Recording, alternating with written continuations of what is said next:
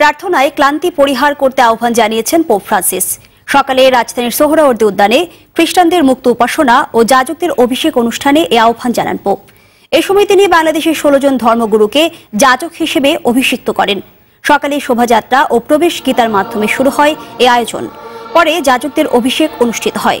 এরপর উপদেশ বাণী ঘোষণা করেন পোপ ফ্রান্সিস। এ সময় তিনি যাজকদের সাফল্যের জন্য খ্রিস্টান সম্প্রদায়কে প্রার্থনার আহ্বান জানান। এদিকে বিকেলে কাকরাইলে এক সমাবেশে যোগ দেন পোপ। এ সময় তার সঙ্গে দেখা করেন মিয়ানমার থেকে নিপীড়নের শিকার হয়ে এদেশে আসা রোহিঙ্গাদের একটি প্রতিনিধি দল। এ সময় তাদের সান্ত্বনা দেন ক্যাথলিক এ ধর্মগুরু।